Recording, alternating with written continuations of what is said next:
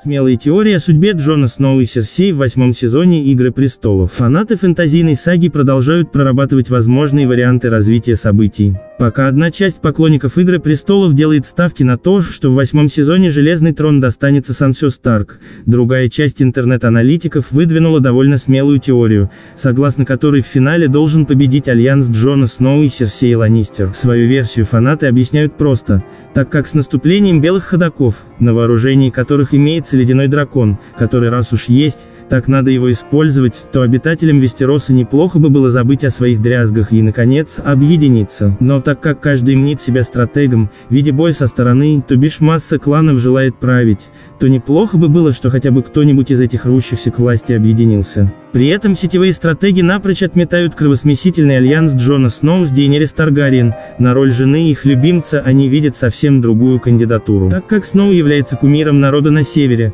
а Серсея прибьет любого, кто попытается встать на ее пути на юге, то пользователи полагают, что заключение брачного союза между ними вполне было бы логичным. Если Сноу женится на Серсее, у него будут две армии, которые смогут победить белых ходаков. В этом, несомненно, есть здравое зерно, за исключением одного «но», в прошлом сезоне Джон отказался величать Серсею королевой. Плюс ко всему, встает вопрос, выйдет ли Серсея замуж за того, кому чуждо раболепие. А посему, если Софи Тернер не выдаст очередной спойлер, то остается ждать, заморозит ли ледяной дракон весь Вестерос. Спасибо, что были со мной. Спасибо за просмотр. Ставьте лайк и подписывайтесь, если тоже любите мир Плия.